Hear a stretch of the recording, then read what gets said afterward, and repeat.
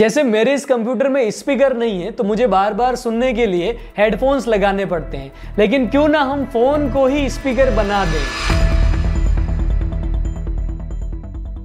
तो जैसे अभी मैंने ये कंप्यूटर पे सॉन्ग प्ले किया तो ये फ़ोन में सुनाई दे रहा है। ये देखो। है ना?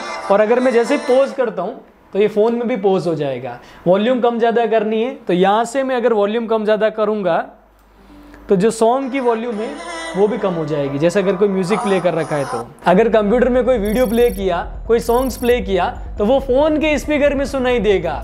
बहुत ही इंटरेस्टिंग ट्रिक्स आज मैं आपको बताने वाला हूँ। ये वीडियो ज़रूर पूरा देखना। आइए मैं आपको बताता हूँ आपको क्या करना है। तो पहला स्टेप आपको कंप्यूटर में जाना है क्रोम ब्राउज़र ओपन करना है और यहाँ आपको ऑडियो ले।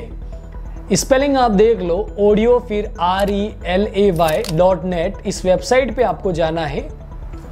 वेबसाइट पर विज़िट करने के बाद में यहाँ पे एंड्रॉयड लिनक्स और मैक के लिए ये जो सॉफ्टवेयर दे रखा है, इसको डाउनलोड करना है। तो हम विंडोज़ वाले हैं तो विंडोज़ का ये जो सॉफ्टवेयर है, वो डाउनलोड करना है। ये डाउनलोड हो रहा है और आपको ये इंस्टॉल करना होगा। इस तरीके से आप क्या करेंगे? सॉफ्टवेयर को इंस्टॉल करेंगे। ये बहुत आसान है।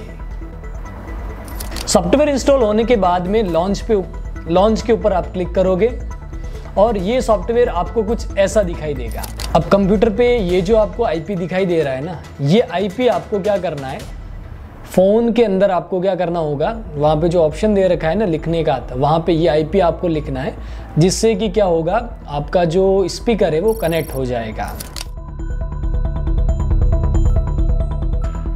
अब स्टेप टू जिस भी फ़ोन को आपको कंप्यूटर का स्पीकर बनाना है, उसके प्ले स्टोर में जाके आपको ये ऑडियो ले, जो एंड्रॉयड ऐप है, वो डाउनलोड करके इसको ओपन कर लेना है। ओपन करने के बाद में ये आपको कुछ ऐसा दिखाई देगा, बहुत ही सिंपल है। एक चीज़ आपको बताना चाहूँगा, अगर आप वाईफाई से कनेक्ट करना चाहते हैं तो अगर कोई हॉटस्पॉट है ना, जहाँ से हॉटस्पॉट चल रहा है, किसी और फ़ोन का या राउटर का उससे आपका जो फ़ोन का वाईफाई है, वो कनेक्ट होना चाहिए। जैसे ये मेरा जो वाईफाई है, वो कनेक्ट है।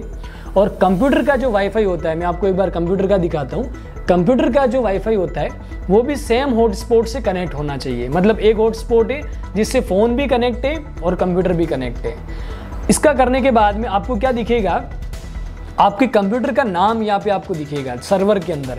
अब यहाँ पे ये जो आईपी एड्रेस दिख रहा है ना आपको, ये देखो कनेक्ट कनेक्ट करने का जो एड्रेस है ये एड्रेस और आपने जो ये ऑडियो ले कंप्यूटर में इंस्टॉल किया है, इसका जो ये एड्रेस है ना, ये दोनों सेम सेम आपको दिखाई देंगे, अगर सेम वाईफाई से कनेक्ट होगा तो।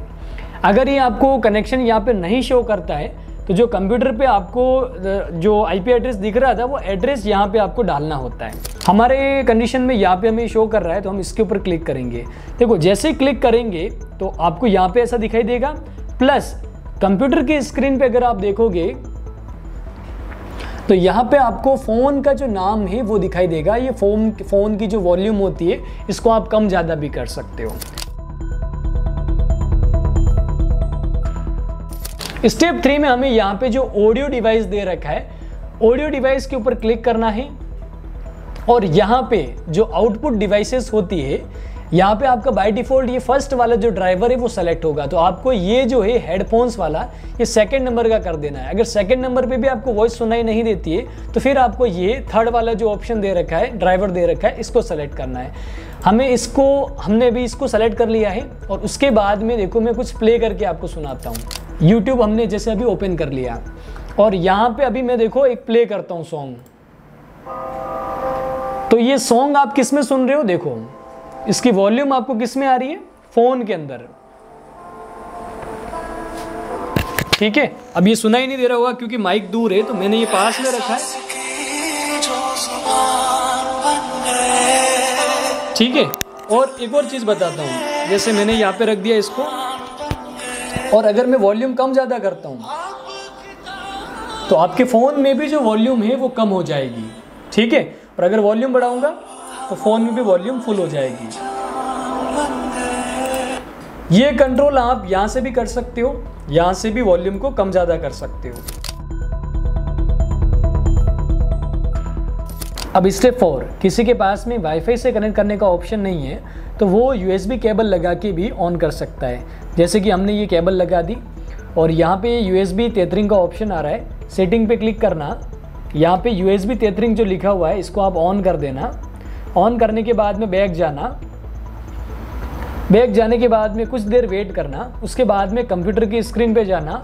तो यहाँ पे जो जो सेकंड नंबर जो बड़ा सा आईपी एड्रेस दिख रहा है, ये वाला जो आईपी एड्रेस होगा, ये आपको फ़ोन में एंटर करना है। देखो मैं आपको दिखाता हूँ, जैसे ये यहाँ पे एग्जांपल दे रखा है ना, ये वन नाइन टू से तो इसको आपको क्या करना है, ये सेम आपको यहाँ पे लिखना है और कनेक्ट के ऊपर क्लिक कर देना है। तो जो पहले वाईफाई से जैसा कनेक्ट हो रहा था ना, वैसे ही यहाँ पे अब क्या होगा इस यूएसबी से भी कनेक्ट हो जाएगा और अगर मैं जैसे कोई प्ले करता हूँ, ये देखो फ़ोन से अब क्या हो रहा है? प्ले हो रहा है और ये पोज हो रहा है। तो इस तरीके से आप दोनों तरीके से फ़ोन को क्या कर सकते हो? स्पीकर बना सकते हो कंप्यूटर का। ये लैपटॉप में भी काम करेगा कंप्यूटर में भी काम करेगा। तो आई होप ये वीडियो आपको पसंद आया होगा और आपने भी अपने फ़ोन को स्पीकर में कन्वर्ट कर लिया होगा। अब से अगर आप कंप्यूटर लैपटॉप में कोई भी म्यूज़िक वगैरह प्ले करोगे तो फ़ोन के स्पीकर में सुनाई देगा। अगर वीडियो पसंद आया है तो लाइक और शेयर कर दो और चैनल को सब्सक्राइब करके नोटिफिकेशन बेल को ज़रूर दबा दो। मैं मिलूँगा ऐसे ही कुछ नए वीडियोस के साथ में। नमस्कार, जय हिंद, जय भारत।